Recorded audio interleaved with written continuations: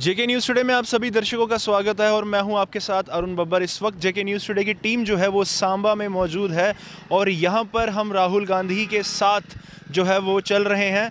और हम आपको बता दें कि इस वक्त हम सांबा में मौजूद हैं और साथ ही साथ राहुल गांधी की भारत जोड़ो यात्रा जो है वो इस वक्त चल रही है हीरा नगर से। अब सांबा की तरफ़ जो है वो प्रस्थान किया है। और साथ ही साथ हम आपको बता दें कि यहाँ पर हमने जो जानकार लोग हैं, श्री रमन बल्ला जी से भी बात की।